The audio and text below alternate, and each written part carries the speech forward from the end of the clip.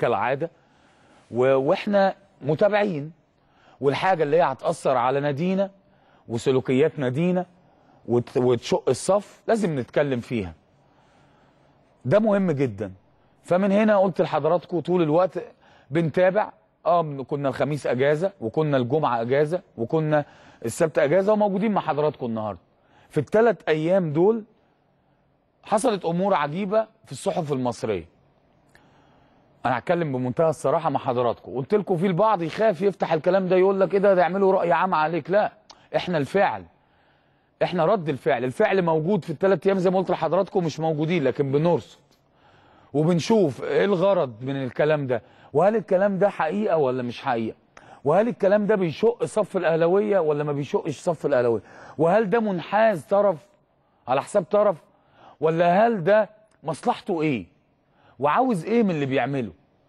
وبالمناسبة الحاجات اللي هتكلم فيها النهارده 90% منها اشتكى منها أعضاء الجمعية العمومية وبعض من جماهير النادي الأهلي. مش بالكامل لأن في ناس مالهاش دعوة.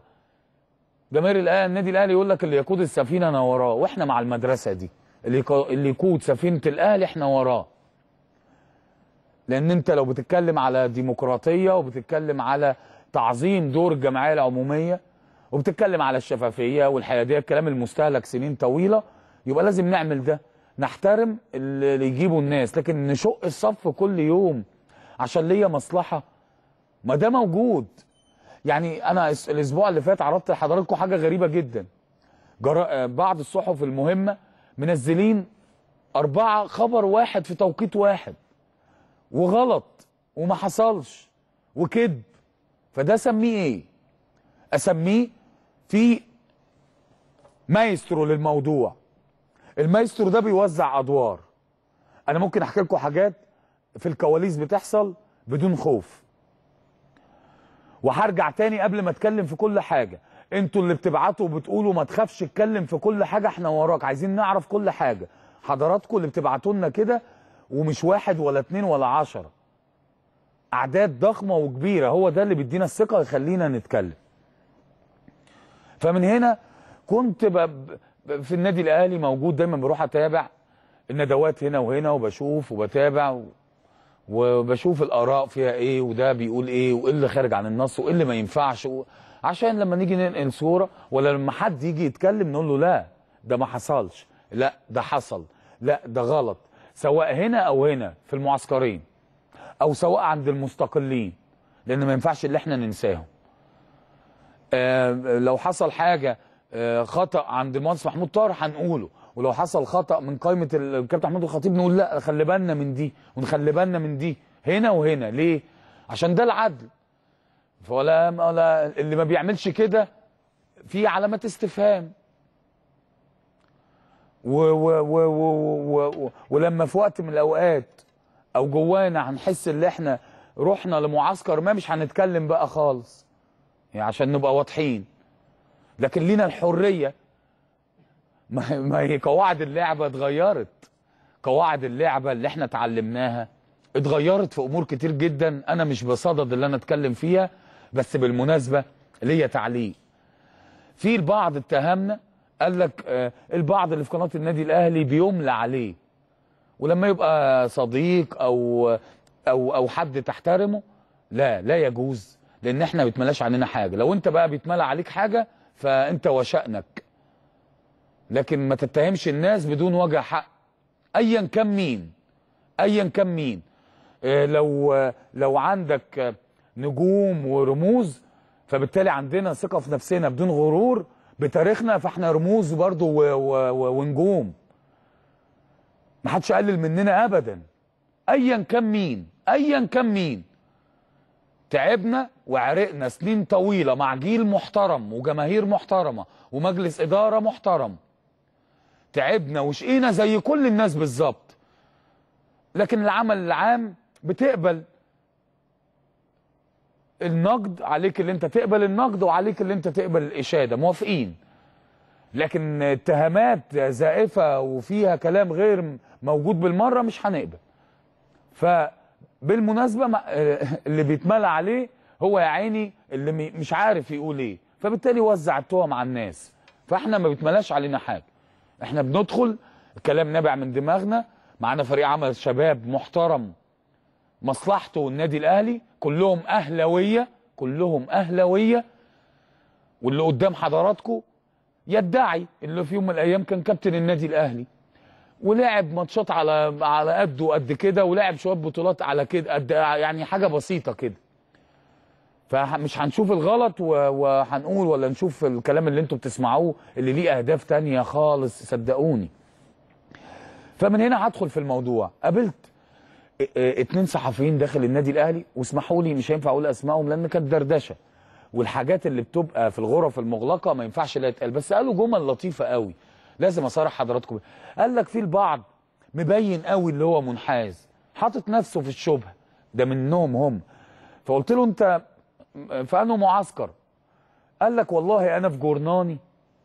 هتقال لي كده بالظبط بالمناسبة. فأنا في جورناني والله جورنان قال إحنا في خلاص إحنا يا جماعة واخدين إحنا مع المعسكر ده مفيش حيادية. ومش هناخد أخبار للمعسكر التاني. وجريدة مهمة. فقلت له وأنت إزاي تقبل على نفسك كده؟ قال لي بمنتهى الأمانة قال لي أنا رفعت إيدي ورحت جاي قايل في القعدة أنا ماليش دعوة بالانتخابات مش هكتب حاجة عنها خالص عشان أخرج من القصص دي. فده الموقف السليم. اللي ما بيقبلش على نفسه الشبهة بيعمل ده. واللي واللي ماشي في الخط الغلط بيعمل ده. كل واحد حر أنا ماليش دعوة. أنا مش ب... مش مش بنظر على حد ولا ليا دعوة ليا نادية بقى. ما دام الأمور بتمشي كده فأنا ليا نادية. فبشوف ناس ليها مصالح كتير بالمناسبة. ويجي يقول لك مالناش دعوة بالانتخابات ولا الحملات وتلاقيها ماشية في الصف يا عيني عمالة توسع الناس. انت قابل على نفسك كده وتقول لي تقول لي ده قيمة؟ لا انت قيمة عند نفسك انت بس. انت مش قيمة عند حد اللي يعمل كده اللي يمشي في الطابور سواء هنا أو هنا بالمناسبة. فتروح توسع الناس وسع وسع وسع وده وتقعد توسع الطريق.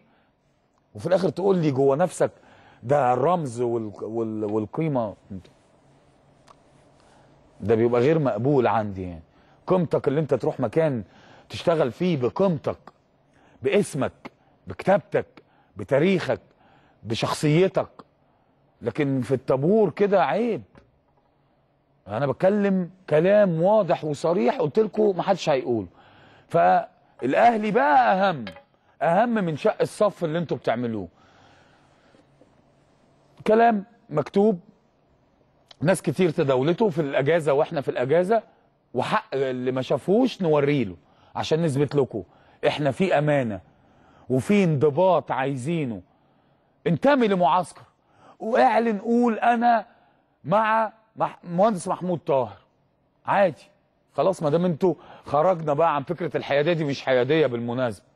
أنا بتكلم بمنتهى واللي يجي يقول لك دي مدرسة تبعها فلان وعلان قول له غلط. قول له دي شبهة. دي شبهة. هي دي الحقيقة. فاعلن أنا مع المهندس محمود طاهر خلاص. ما دام الوضع الجديد اللي إحنا فيه بقت الدنيا بتمشي كده وعايزين يقنعونا اللي ده الصح اللي إحنا اتعلمناه هو غلط. بس ما دام بيقنعونا اللي ده صح دلوقتي خلاص خلينا نمشي ورا ده نشوف الآخر رايح فين. الكل بالمناسبة. ف قال لك قول أنا في المعسكر مع كابتن محمود الخ... قول عادي كل واحد يعني من حقه لكن ما. قول أنا هنا لكن ما تتهمش الطرف الآخر بحاجة.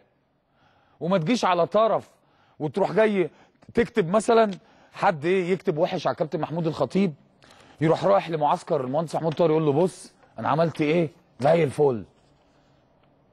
المهندس محمود طاهر أنا عارف اللي مستحيل يقبل بالكلام ده. طيب نعكس بقى.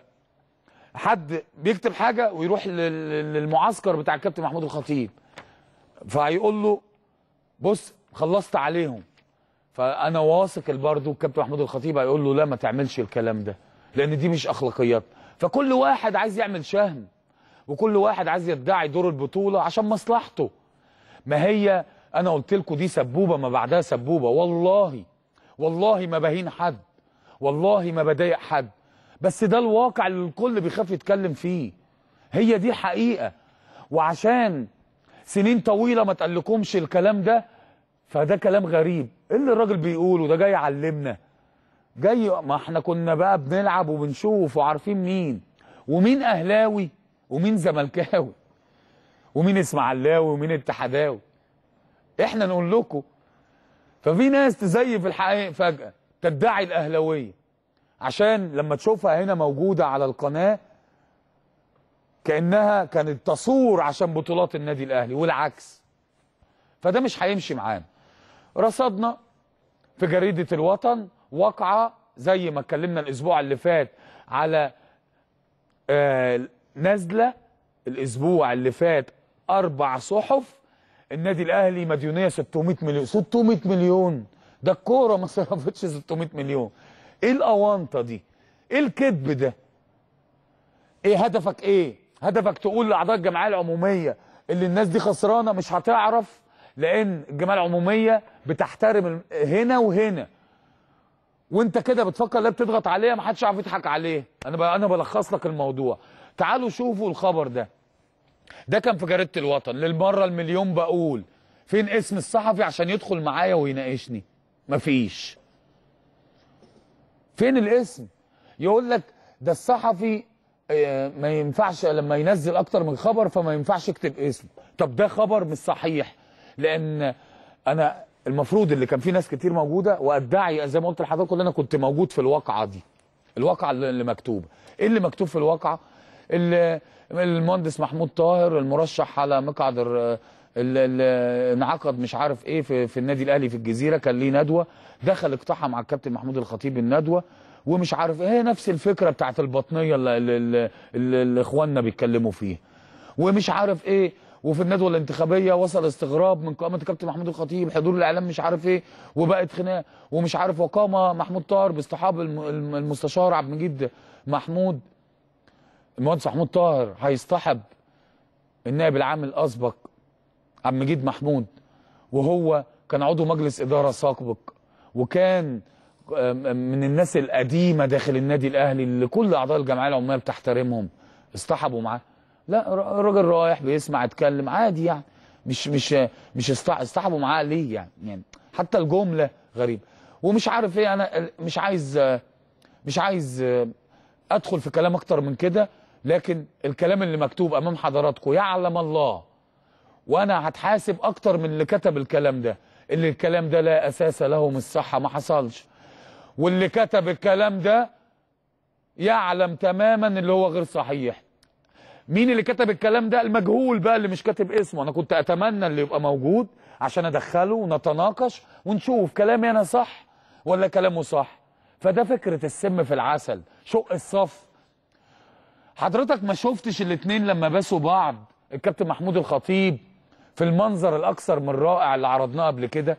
حضرتك ما شفتش المنظر الأستاذ خالد الدرندلي مع الأستاذ كامل زاهر والاتنين نازلين على مقعد واحد؟ ما أثرش فيك يا أخي. أنا ما أعرفش مين ما أنا كان نفسي أشوف اسمه عشان أوجه له الكلام على طول. اللي كاتبه ده ما حصلش. هذا كذب.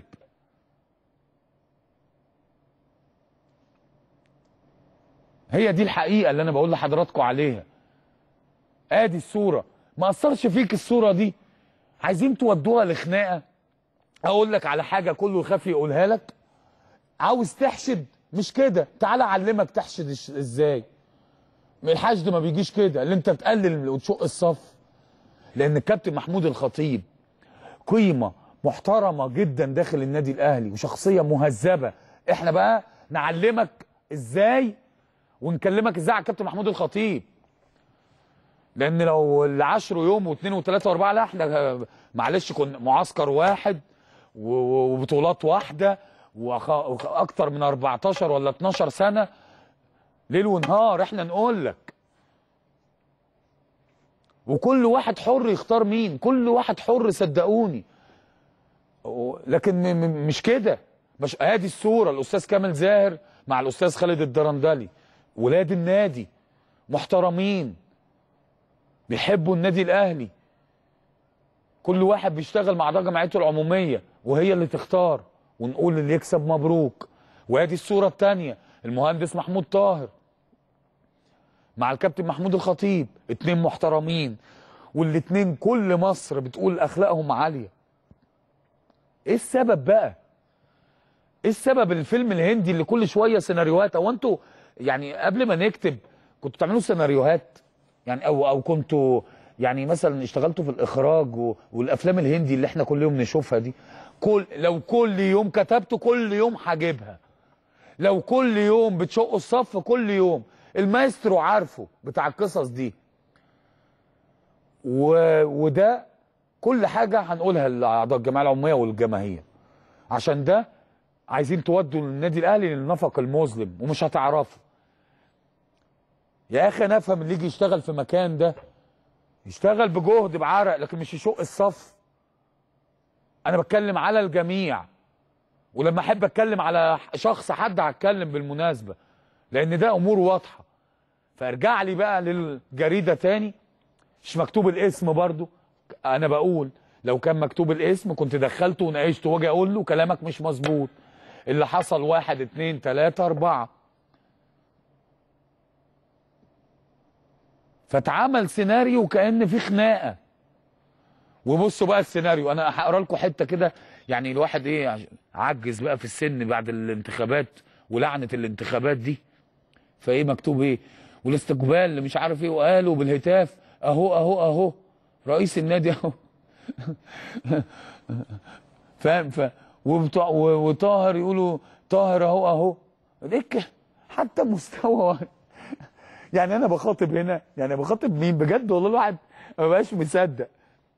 يعني الحاجات دي تدعو كل أعضاء الجمعية العمومية اللي أنت تبقى قاعد فخور اللي أنت ليك الكلمة واللي بيستقطبوك وبتقعد تضحك على الكلام ده وأنت بتشوف. لأن مش دي الحقيقة اللي حصل. مش دي الحقيقة اللي حصل. و و ومش هقول بقى أنا شاهد عيان وفكرة أنا خبير استراتيجي جوه النادي الأهلي. ال- المصطلحات اللي هي خلاص زهقتنا 3 4 سنين عايزين نبني دولتنا. وندخل الحق مراسلنا مش عارف فين ويعمل لك ضرب نار وبتاع وكأن في م- موجة ومصر بتو الكلام ده زهقنا منه وعايزين نغير من ثقافتنا. وأسلوب اللعب القديم ده انتهى. قمنا بثورات عشان الكلام ده ما نشوفهوش. مصر بتكبر. عمرها ما هتكبر بالكلام ده. أقول لكم على حاجة في قلبي هقولها. مصر كبيرة وعظيمة. ومحدش يقبل على وطنه أي جملة وأي حاجة. فالأهلي مصر المصغرة. الأهلي مصر. أكتر من 50 60 مليون أهلاوي في البلد دي. ما تستخفوش بيهم. ما تستخفوش بعقولهم. المدارس دي انتهت في التفكير. الشباب ما بقاش حد يضحك عليه. ولا الخبرات بقى حد خلاص الكل استوعب الدرس اللي كنا فيه. طابور الخامس اللي عاش وسطك ده اللي ليل ونهار هدفه مصالحه وكرشه مش هدفه. يا عم الأهلي يا راجل يعني أنا مش عايز أتكلم في حاجات عشان البعض ما يزعلش مني. كان بيتسرب حاجات كتير جدا عن النادي الأهلي بدون وجه حق. ويتقال لك شادي بياخد 2 جنيه وفلان بياخد 4 جنيه وابو تريكة بياخد جنيه ونص. إيه ما ينفعش. نتدخل في الحاجات دي. بنستفيد إيه لما نعمل كده؟ فالمدارس دي خلاص بقى انتهت. وفي شغل بقى على النور. في شغل على النور. واللي عايز حاجة الرزق بتاع ربنا. الرزق بتاع ربنا.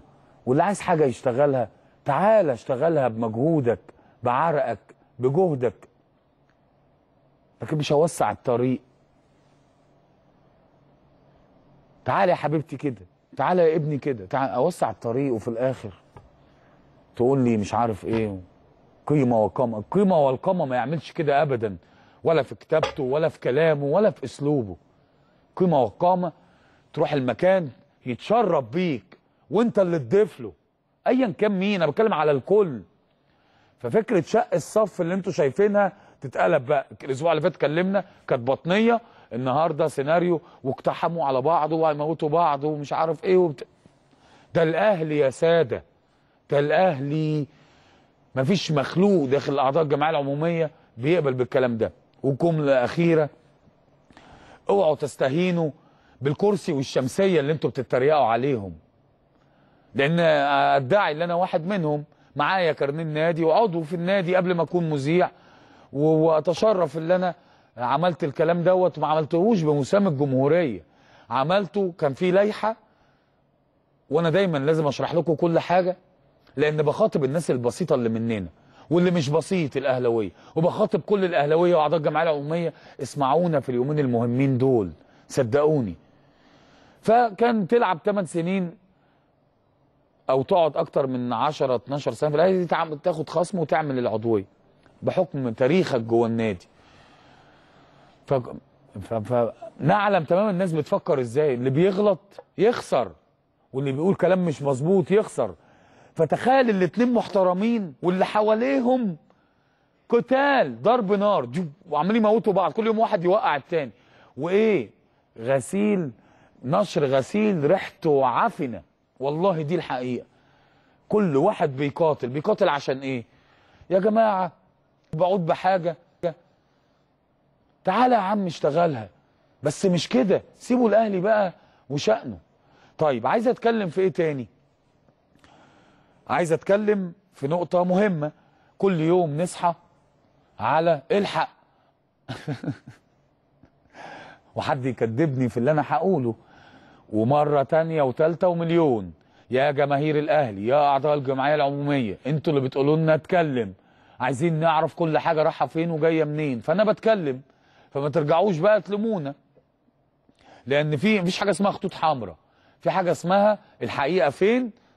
وتوعي المشاهد. وعلى المشاهد اللي هو يفكر. مش كل حد يقول لك حاجة تاخدها الحق.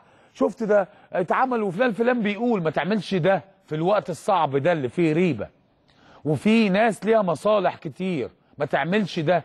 فكر واوزن وشوف هل دي ولاد الاهلي يعملوا كده؟ اخلاقيات الاهلي تعمل كده؟ وأنا هقول لكم كل حاجة دلوقتي بأمان.